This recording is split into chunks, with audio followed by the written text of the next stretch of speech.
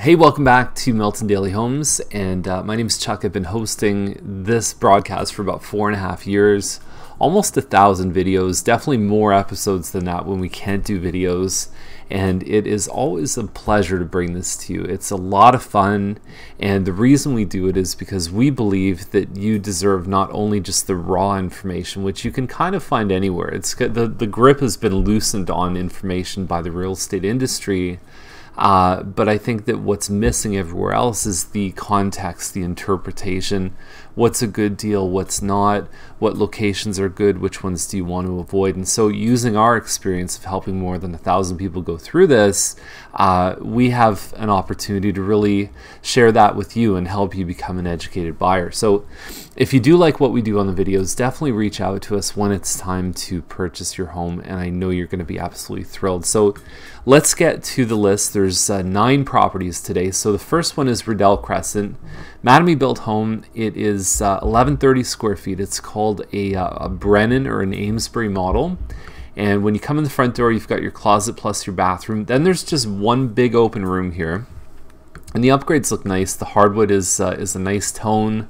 Uh, you can tell they've dressed up a home. When you see things like this on the wall, it usually means that the owners care about their house, that they're not just doing the minimum standard. It's not just builder paint. Uh, so there it is. It looks like a nice home. Uh, lately, some of these uh, these models have crept up into the 380s. You also have the same model here on Beard for 389. Now it has a finished basement. Typically, the adjustment on a finished basement is somewhere between five maybe on the high side about $10,000 for this model. But same thing, one big room here, and they've set it up with two. Some people just do one big open room, some people do the dining room plus the living room. It's a little bit hard con to configure because you've got your chairs here. Where do you put your TV? It's a little tough because the stairs are right across here. Uh, some of them are completely open concept, some of them have a uh, kind of a pillar in between. I like this shot here. So uh, just in case you can't imagine that window without blinds. There it is there. Uh, I find the other one just looks a little bit better, but for for the 5,000 extra, if you assume that they're equivalent, because in person the story could be totally different. The finished basement I think makes a big difference. I don't know why they would show that. I don't know if that's a real value booster is to show a, a storage area in the house. Uh, 303 Hobbs is 435.8. kind of the same layout as as the previous, but it's a it's a larger home. You're getting a second bathroom upstairs, so you have two full bathrooms. The previous you only have one full bathroom. So even when you finish the the basement on the Amesbury, you want to make sure that you put a bathroom down there, so you have two full ones. You back onto green space a little bit further over there is St. Anthony of Padua School. And the price looks not bad. I don't know if this front yard is really doing them a lot of justice. I think it kind of looks a little bit, um, I don't know, like the border, and then you've got grass growing over here. I don't know if it would impress somebody from the uh, the front. So the way we always talk about curb appeal is that you're not gonna you're not gonna win the war in the uh, uh, from the curb, but you can lose it. We've had clients that have been right in the car with us, and they've said keep driving. So all you need to do on the first impression is to give them enough information so that they want to come inside and see the rest. This one on Tremaine has dropped their price. And uh, I actually don't think it's such a bad deal. The, the concern about this area, Milton Heights, which is Tremaine just south of the 401. Uh, this area, I believe, is going to be a cul-de-sac, and they're going to redirect Tremaine. So you've now got more traffic coming up to the house, but not necessarily right outside the house. But Milton Heights in general is going through, they're at the Ontario Municipal Board right now, and they're looking at possible redevelopment of some of the area. So you might find yourself in a much higher density area uh, probably within maybe five or ten years is that that area can really change a whole lot. And it's funny when people start blaming the local government, the mayors or the councillors, because it's all been mandated from higher levels. Ontario and Canada has said we need to fit a million people into Halton region in the next 20 years. So guess what? Everybody's got to take some of that.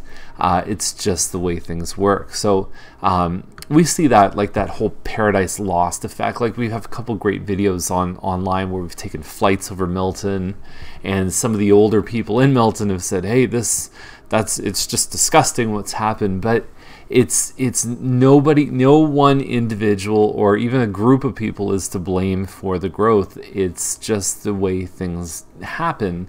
And i'm sure there's people in the city of toronto that at one point uh, in the core right downtown that have said hey this town is just uh, getting too big so agnew crescent's 456 uh, semi-detached and basically your one big room you've got your eating area beside the kitchen and hardwood floors, hardwood staircase, and then you've got three bedrooms upstairs.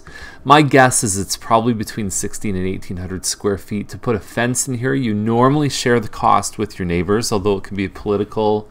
Usually you're budgeting about an extra probably $1,500 for a home like this. Uh, although the fencing further back could actually be the fence here. So if you're just doing the one side, maybe it's 500 bucks. Anyway, it's uh, it's got a good sized lot at 100 feet. Shepherd, when you look at the room sizes here, if we zoom in on the room measurements, 22 by 932, uh, kitchen breakfast, it looks like a Lake Point model. It's scary that I even know the models just based on room measurements. Uh, but one big open room, semi-detached. It's a Mattamy home because it's on Shepherd, which would mean it's about it's a little under 1,400 square feet, and it has no finished basement. Full does not mean finished and it backs onto green space. We can see that there's a wood floor here. And they built a deck, which really for value purposes doesn't really add too much. Average return on landscaping is probably 20 or 25% when they've done the studies th through appraisals. Uh, granite counters, if it shows really well, there's an outside chance, but most of the lake points have sold probably in the kind of 410 to 430 range and uh, and then there's the premium for the green space, which could be anywhere from probably five to twenty thousand dollars extra uh, for most of the homes in this price range. You get up into a detached double garage, sometimes your premium can go up a little bit more because the scale of the uh, the property. Bennett is uh, is kind of in around the mid 1800 square feet. It's called a Wyndham Corner. Uh, the kitchen, lighter color cabinets plus the white appliances. Usually the trend is more dark stainless steel. To redo that kitchen, $100 a door plus put new appliances in. You could walk into a home like this and uh, and probably invest five to eight thousand dollars and have a completely different kitchen. Uh, if you do the counters, you're at ten. And we've seen this exact model with a finished basement, same as this one, toilet seat up is not a good thing for pictures. We've seen this model sell 525, 526, 535 with a finished basement. So there is upside here. There's a lot of potential. I think they've priced this one well and uh, it's not too far from so there's two schools that's kind of right in between so hawthorne village if you go south of here and then you also have uh, guardian angels two very well renowned schools in Milton. Uh, Hawthorne Village was ranked in the top 25 schools in Canada by today's Parent Magazine. So, very nice stuff. I think it's a it's a great price. The uh, the other thing, it's right across the street from a big community park. There's a splash pad right there. There's a lot of green space close by. Uh, this one on Cedar Hedge is a little bit bigger without the finished basement and there you go, 529. It's a little bit high on the price. There is a virtual tour you can click. There's no photos available. I checked the tour. Seems okay to me, but the uh, the one on Bennett by far is better value in my eyes. And then we have this one on Glebe, which is 549, and it's about 2,200 square feet. It's a Mattamy home. I find the kitchen's a little bit small in uh, in this model for the size of the home, but that obviously means there's more living space, four bedrooms, um, mismatched. A good idea before you sell a home like this is to change your white uh, hood fan into a black or stainless steel.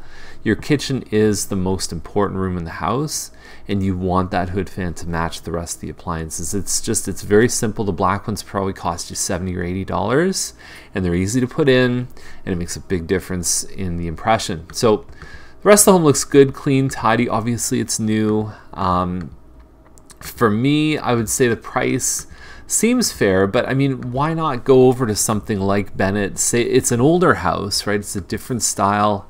Uh, get your finished basement. Total living space is the same, and you're paying a lot less than uh, than this one here on Glebe. So it is uh, priced fair, I think, given what else these models have sold for. There's been a couple backing onto green space that have gone around the 560, 570 range, uh, with a little bit more upgrading than this one. So if if you uh, have any questions about anything in this list, you want to see anything, or if you just want some research based on any of these homes, say, hey, you know, what else are homes like this uh, selling for? Be glad to provide that for you. So have a great day, and we'll see you tomorrow with more Milton Daily Homes. And thank you again very much for watching and tuning in every day.